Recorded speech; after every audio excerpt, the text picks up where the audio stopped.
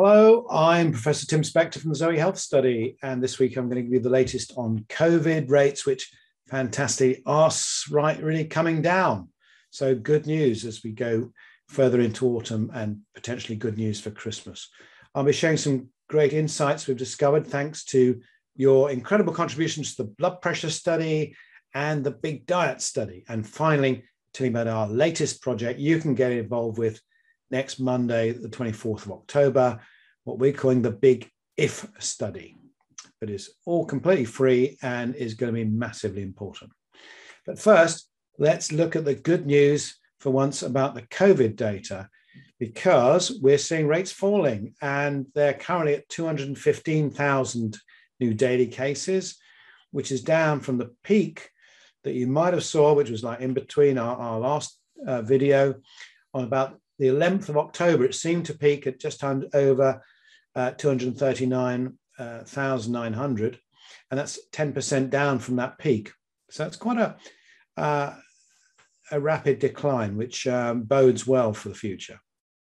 Um, not out of the woods yet, because that still means there's lots of people hanging around with the virus that could be infective. So it's down, it's down a little bit, only at one in 21 people. So lots of people uh, still potentially coughing, etc.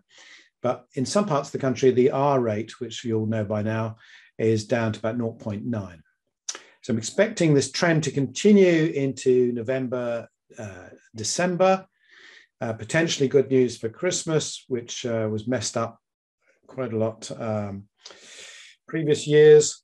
And um, the ONS data that gets into the mainstream media is about 10 days behind us. So hopefully next week they'll show uh, either a plateauing or a slowing down as well. Now, one reason that uh, this decline is earlier than I was telling you is because that was based on forecasts uh, that used uh, what's called uh, contact rate data between people, how much people are mixing together and how easily viruses are transmitted. And the reason this is lower than those peaks, which should have gone much higher, is that we're still at around 80, 85% of our contact rates compared to where we were pre pandemic. Many people are just not getting out and mixing as they were before. This has the good news that that means there's less COVID and less colds being transmitted. And uh, again, we're seeing colds coming down as well. Um, so, talking about the COVID symptoms, um, they're pretty much unchanged, but uh, I like sharing it with you because uh, you guys need to be experts when people still uh, have the wrong advice. Five common symptoms are sore throat, runny nose, blocked nose, headache, and a dry cough. And uh, although I did mention sneezing was slightly more common if you have uh, a cold than COVID, but it's still pretty common. About 49% of people have it uh, with COVID. So not a particularly reliable um, sign. I hope I didn't mislead anyone there. Uh, when I when I started sneezing with my cold, um, I think importantly, fever that's high temperature no longer features in the top 20. And it really is a complete waste of everyone's time to be screening uh, workplaces and care homes and things for fever at the moment. Um, don't forget, if you do have any of these symptoms, get a test and log it on the app using the profile tab, which has changed a little bit. Okay, uh, big diet study and blood pressure. Um, amazingly, 96,000 of you have just completed the big diet study, telling us all about your habitual diet. And this allows us to get some really interesting insights from your data. And by comparing this with the blood pressure study data, where many of you have very kindly got hold of a blood pressure machine and told us what's going on, we can see what happens, uh, the, the interactions between diet and blood pressure. And you can look at this graph now, you can see a, a couple of obvious things. Yes, um, the highest one obviously is if you've been diagnosed with high blood pressure, uh, but after that, age and your body weight are the two biggest factors. You can't change your age. You can to some extent change your body weight, but um, The other one that's preventive is obviously if you take blood pressure medicine, that's uh, going to be helpful. And uh, being female helps you as well. Uh, men always have higher blood pressures, although it does go up at the menopause, as we've discussed. Alcohol is generally negative for blood pressure. And the one thing, so you can obviously reduce alcohol consumption, That uh, is something you can do. The other thing uh, comes around this, this finding here of potassium. So people who have a lot of potassium in their diet have lower blood pressures. And studies have shown this is more important than salt. Uh, when you, you, you, when you add potassium uh, supplements rather than reducing salt.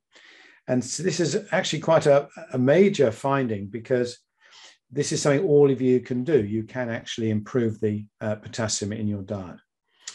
Um, and the other, the other things here are uh, physical activity helps a little bit, stopping smoking, and uh, HRT, which we'll probably discuss more of uh, in future weeks. But looking at the foods that contain this high potassium, which many I didn't know about all of these. Um, I thought it was just bananas, which um, tennis players eat.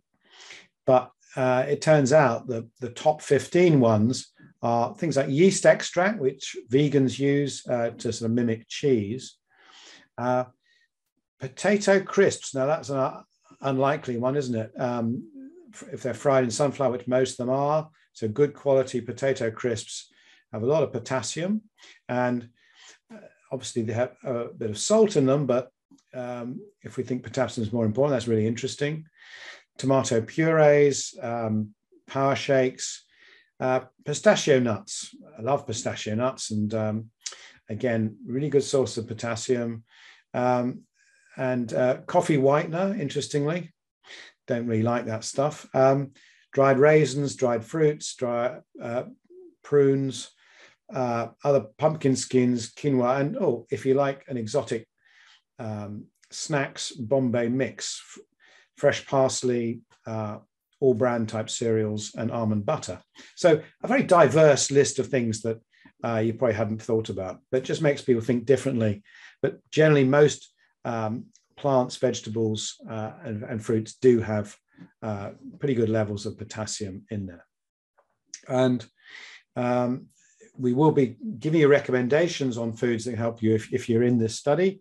And we're also hoping to be giving you individual feedback on your particular diet and what you need to change uh, to improve.